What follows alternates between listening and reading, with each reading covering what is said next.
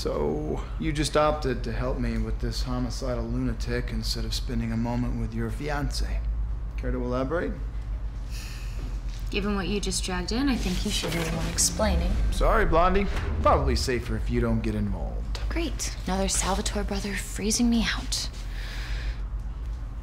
Stefan told me that he needed to go on some spirit walk to God knows where, figure out if he wants to be with me. Hmm. Well, in his tiny human brain, I'm sure he thinks he's protecting you. He doesn't believe he's worthy of someone like you, Caroline. You felt that way about Elena. I need Stefan just as much as she needed you. And Lizzie and Josie need him too. Uh, enough about Stefan already. What you guys need is someone who can explain to you what's going on with your Gemini Coven twins. Huh.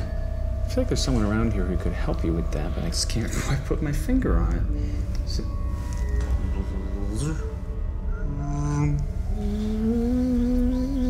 It...